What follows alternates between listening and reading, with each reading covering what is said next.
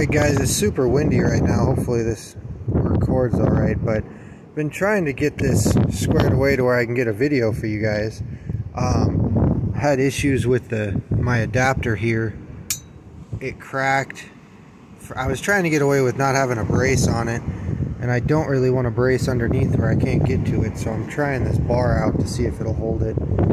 But got that squared away and then my actuator where I mounted it has just been a real pain to tune. It's super sensitive in the mid-range area, but it's probably mostly my fault for just the the way it's positioned. So we're getting it figured out, but it's just taken a lot longer than I expected. And then I ended up with a bad four bar map sensor and that messed me up for a while. So I got some video here to kind of show you guys how it's acting though for now and hopefully I'll get more later on. But yeah overall very impressed.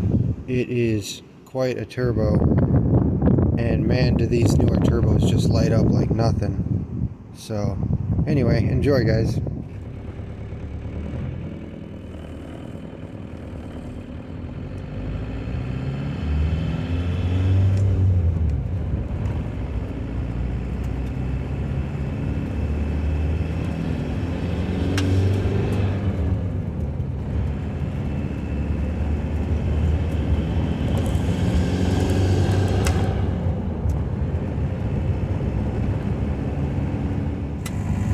Alright guys, so just to kind of give you a visual here, I'm just putting through town in third gear.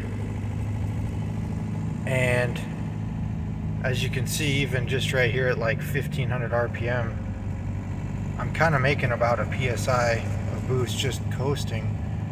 But even clear down here I can load it up and get right up to 10 PSI pretty much right away come down here and slow down.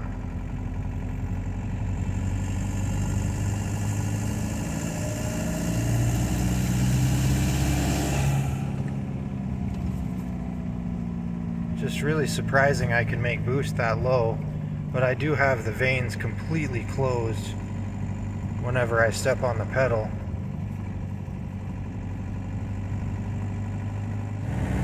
Okay, and here we're getting on the on-ramp to the interstate here. So I'll try to get it still enough. But right here about around 2000, if I get on it,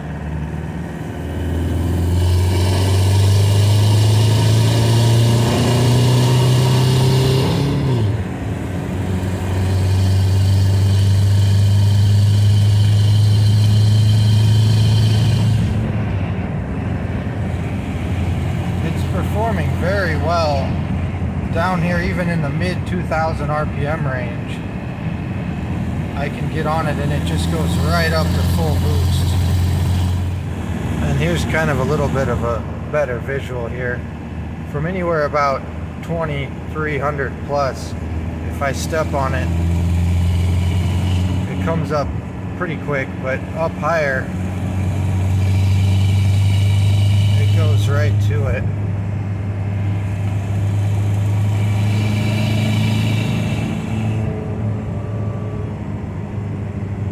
just really responds nicely.